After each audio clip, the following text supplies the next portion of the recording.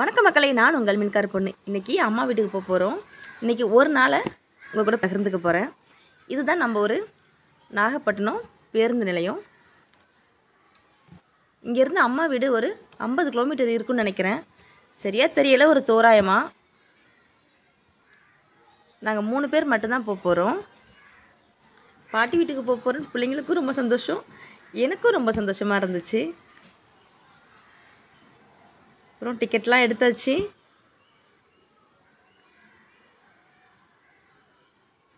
எங்கள் ஊர்? ஆட்சியர் அலுவலகம். நான்லாம் நல்லா படிச்சிருந்தா இந்நேரம் இங்கே தான் ஆட்சியரை வேலை பார்த்துருப்பேன்.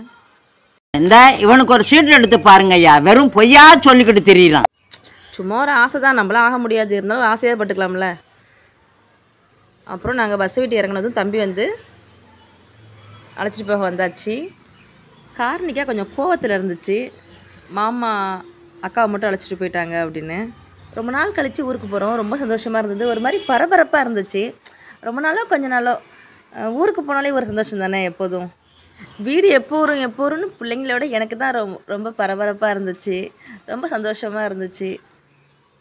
ஒரு வழியாக வீட்டுக்கு வந்தாச்சு. வீட்டுக்கு வந்ததும் அம்மா எங்களுக்காக சேமியா பாயசம் செஞ்சு வச்சுருந்தாங்க. அதை முதல்ல சாப்பிட்டோம். அதுக்கப்புறம் சீத்தாப்பழம் சாப்பிட்டோம். இது எங்கள் பகுதிகளில் ரொம்ப அதிகமாக கிடைக்கும். ரொம்ப சுவையாக இருக்கும். அப்புறம் நிறைய பலகாரம் வாங்கி வச்சுருந்தாங்க. எல்லாத்தையும் ஒரு புடி பிடிச்சோம். பிள்ளைங்க கூட அம்மா வீட்டில் ரொம்ப சந்தோஷமாக போச்சு இன்னைக்கு. இன்றைக்கி ஊரில் திருவிழா நடந்துகிட்ருக்கு அதனால் நைட்டு வந்து பாட்டு கச்சேரி பார்க்கணுன்னு சொல்லிட்டு ரொம்ப அவசர அவசரமாக கிளம்பிகிட்டு இருந்தோம். அப்புறம் பூ பறித்து பூலாம் கட்டிக்கிட்டு இருந்தாங்க. ஆயாவும் பேத்திங்களும் பூ கட்டிகிட்டு இருந்தாங்க.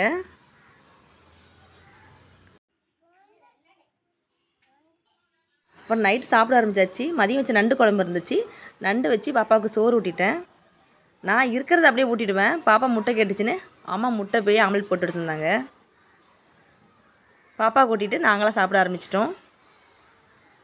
அம்மா ரொம்ப நல்லாவே சமைப்பாங்க. ஒரு மாதிரி எல்லாமே பார்த்து பார்த்து செய்வாங்க. தக்காளி சட்னி மதியம் வச்ச நண்டு குழம்பு இருந்துச்சு. இட்லி வந்து ரொம்ப வெள்ளையாக இருக்கும். அம்மா செஞ்சால் ரொம்ப மெதுவாக இருக்கும். நிறைய சாப்பிடலாம்.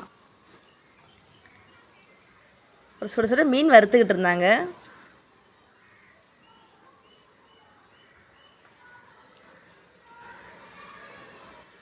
நான் சொன்ன மாதிரி இட்லி நல்லா வெள்ளையாகவும் ரொம்ப மெதுவாகவும் இருந்துச்சு.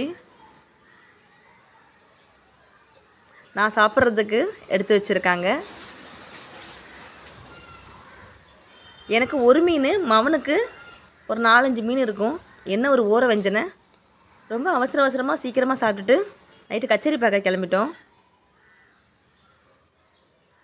நிறைய கூட்டம் இருந்துச்சு. நல்ல வெளிச்சம். பிள்ளைங்க ரொம்ப ரொம்ப சந்தோஷமாக இருந்தாங்க.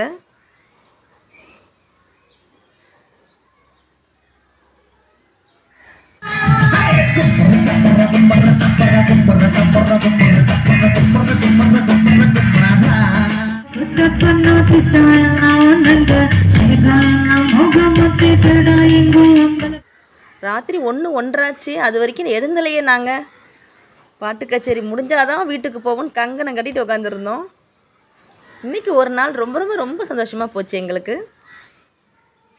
அதுதான் இந்த காணொலியில் உங்கள் கூட பகிர்ந்துக்கிட்டேன் உங்களுக்கு இந்த பதிவு பிடிச்சிருந்தா சப்ஸ்கிரைப் பண்ணுங்கள் அடுத்த பதிவில் சந்திக்கலாம். நன்றி. சரியாக மணி ஒன்றரை வீட்டுக்கு வரும்போது.